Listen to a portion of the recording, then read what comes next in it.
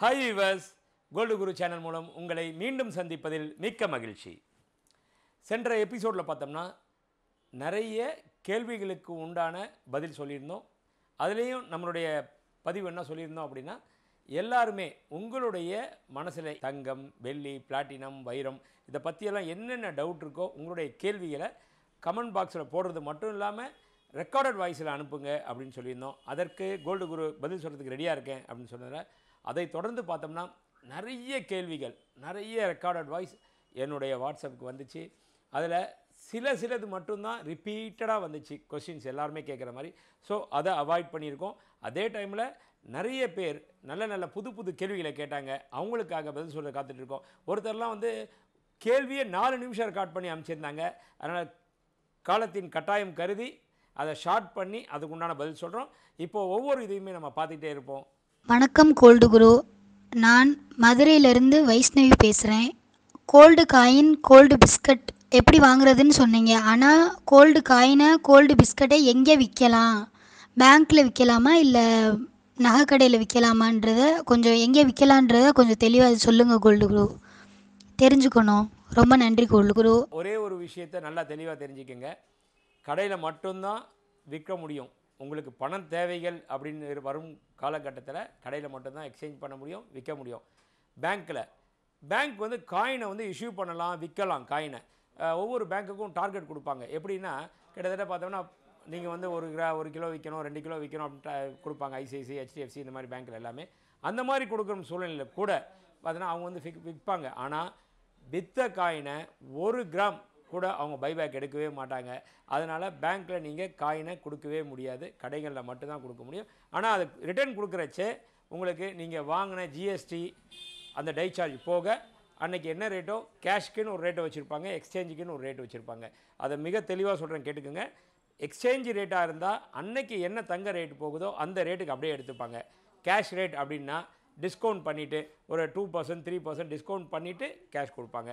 இதுதான் வழக்கம் நடைமுறையில் இருக்கிறது. ஸோ வைஷ்ணவி நீங்கள் கேட்டது இந்த கேள்வி வந்து வித்தியாசமான கேள்வி. யாருமே இது கேட்காத ஒரு கேள்வி. உங்களுடைய பார்வை நல்ல ஒரு சிறந்த ஒரு பார்வை. என் பெயர் விஷால். நான் ஐநாவரத்திலிருந்து பேசுகிறேன் கோல்டு குரு உங்களுக்கு மிகப்பெரிய நன்றி. ஏன்னா கோல்டு குருன்ற யூடியூப் சேனல் மூலமாக மிகப்பெரிய மக்கள் சேவை புரிஞ்சு வரீங்க. ஞாயிற்றுக்கிழமை போட்டிருந்த வீடியோவில் ஒரு கேள்வி கேட்க சொல்லியிருந்தீங்க. அந்த விதத்தில் இதை கேள்வியாக இல்லாமல் ஒரு ரெக்வஸ்டா கூட நீங்க எடுத்துக்கலாம். போஸ்ட் ஆஃபீஸ் எல்லாம் பொன்மகள் சேமிப்பு திட்டம் பொன்மகன் சேமிப்பு திட்டம் மாதிரி நீங்கள் ஒரு திட்டம் ஏதாவது போட்டிங்கன்னா அதாவது அஞ்சு வருஷத்துக்கு கட்டலாம் பத்து வருஷத்துக்கு கட்டலாம் இருபத்தஞ்சு வருஷம் எவ்வளோ நாள் கட்டிக்கிட்டே இருக்கலாம். ஆனால் குறைஞ்சபட்சம் நீங்கள் ஒன்றுக்கலாம் குறைஞ்சபட்சம் பதினஞ்சு மாதம் கட்டணும் அதிகபட்சம் இருபத்தஞ்சு வருஷம் கூட கட்டலாம். நீங்கள் எந்த அளவு கட்டுறீங்களோ அந்த அளவுக்கு வந்து நீங்க செய்குலி சேதாரம் எதுவுமே இல்லாம வெறும் ஜிஎஸ்டி மட்டும் பே பண்ணி நீங்க எப்போன்னு எடுத்துக்கலாம். தமிழ்நாட்டில் இல்லை இந்தியாவிலேயே முதல் முறையாக நீங்கள் ஆரம்பிக்கணும்னு மிக தாழ்மையாக கேட்டுக்கொள்கிறேன். இதுதான் என்னோட ரெக்வஸ்டியா டைம் அதிகமாயிடுச்சுன்னா தெரில ஆனால் ஒரு இந்த ஒரு அம்பல் ரெக்வஸ்ட்டு இதை தயவு செஞ்சு நீங்கள் பரிசீலிக்கணும். ரொம்ப நன்றி ஐயா. உங்கள் சேவை எங்களுக்கு தேவை. நன்றி வணக்கம். அதற்கு வந்து நம்மளுடைய சட்டம் இடம் கொடுக்கல. காரணம் என்னென்னா இது வந்து மக்களுடைய நலன் கருதி தான் என்ன காரணம் அப்படின்னு பார்த்தோன்னா ஒரே இடத்துல நீண்ட நாட்களுக்கு பணத்தை வந்து முதலீடு போட்டு வைப்பது தப்பான ஒரு விஷயம். காரணம் என்னென்னா எவ்வளோ பெரிய கம்பெனியாக இருந்தால் கூட சரி அதை ஒரு பீரியடில் வச்சுட்டு க்ளோஸ் பண்ணுறது தான் நல்ல விஷயம். என்னென்னா இதனால் வந்து மக்கள் பாதிக்கப்பட்டு நிறைய பிரச்சனைகள் வந்தனால தான் அரசாங்கம் இந்த முடிவை எடுத்திருக்கு.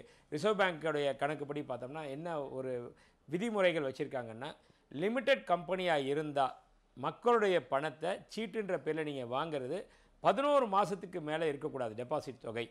பன்னெண்டாவது மாதம் நீங்கள் அவங்களுக்கு கொடுத்துடணும் அப்படின்னு சொன்னனால தான் இப்போ கடைசியாக இந்த ரெண்டு மூன்று வ- வருடங்களாகவே எல்லா கடைகள்லையுமே பெரிய நிறுவனங்கள் எல்லாத்துலேயுமே பதினோரு மாதம் மட்டும்தான் சிட்டி ஸ்கீம் வச்சுருக்காங்க. நீங்களே எக்ஸ்ட்ரா கொண்டு இருபத்தி நாலு மாதம் வச்சுக்கோங்கன்னு சொன்னால் கூட அவங்க வாங்கவே மாட்டாங்க. சட்டத்தில் இடம் கிடையாது.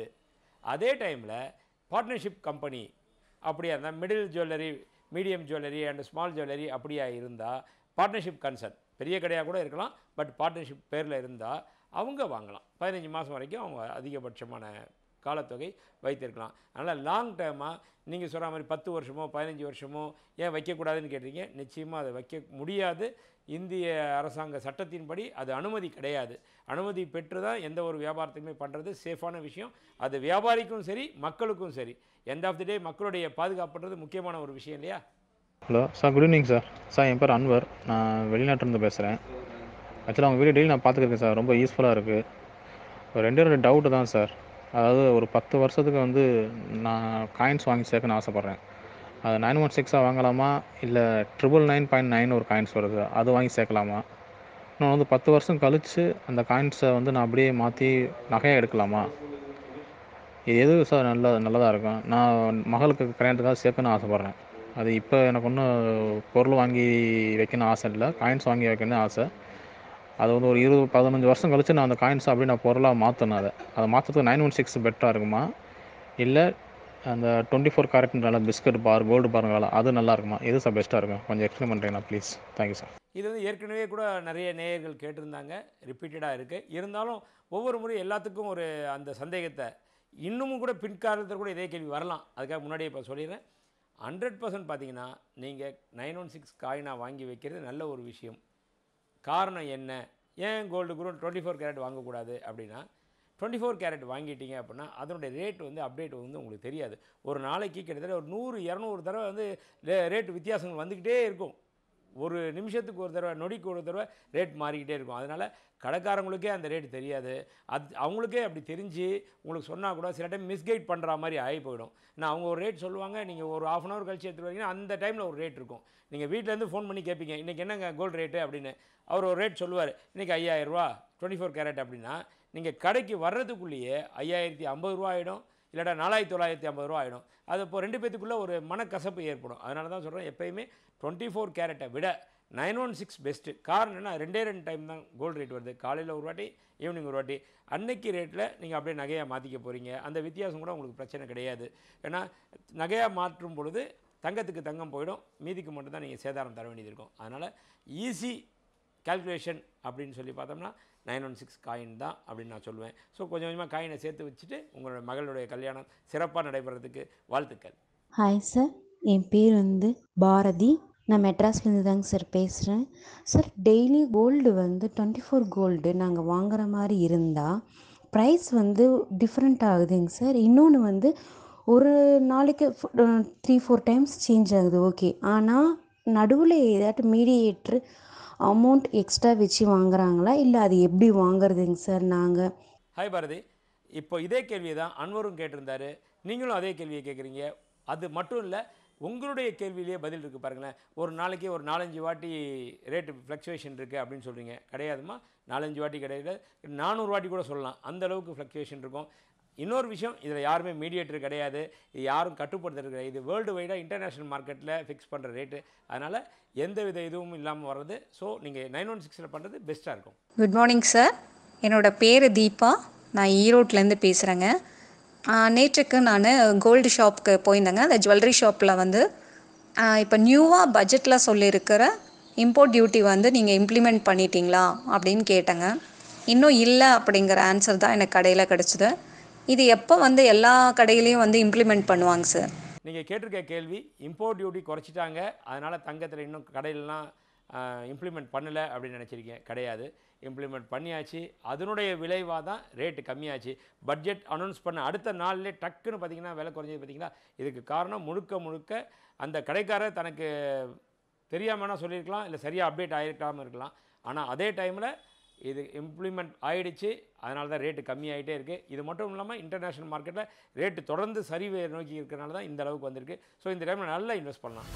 நம்மளுடைய புதிய முயற்சி இந்த தங்கமான கேள்வி பதில் ஆரம்பித்தோம் இதை தொடர்ந்து பார்த்திங்கன்னா நிறைய பேர் என்ன கேட்குறாங்கன்னா ரெக்கார்ட் வாய்ஸ் மட்டும் இல்லை நாங்கள் வீடியோவில் கூட நாங்கள் பேசி அனுப்புகிறோம் நீங்கள் பதில் சொல்ல முடியுமா? அப்படின்னு நிறைய கேள்வி கேட்டிருக்காங்க. ஸோ அதனால் இனி வரும் அடுத்த எபிசோட்லேருந்து நான் பதில் சொல்ல ரெடியாக இருக்கேன். நீங்கள் உங்களுடைய கேள்விகளை ரத்தின சுருக்கமாக ஆ வீடியோ அண்ட் ஆடியோலேயே உங்கள் மொபைல்லையே வச்சு ரெக்கார்ட் பண்ணி அனுப்பிச்சிங்கன்னு வைங்களேன். ரொம்ப நல்லாயிருக்கும் பார்க்குறவங்களுக்கும் இன்ட்ரெஸ்ட்டாக இருக்கும். நம்ம சேனலை லைக் பண்ணுங்கள் கமெண்ட் பண்ணுங்கள் ஷேர் பண்ணுங்கள் சப்ஸ்கிரைப் பண்ணுங்கள் மறக்காமல் பெல் பட்டனை ப்ரெஸ் பண்ணுங்கள் என்றும் இணைந்திருங்கள். கோல்டு குருவுடன்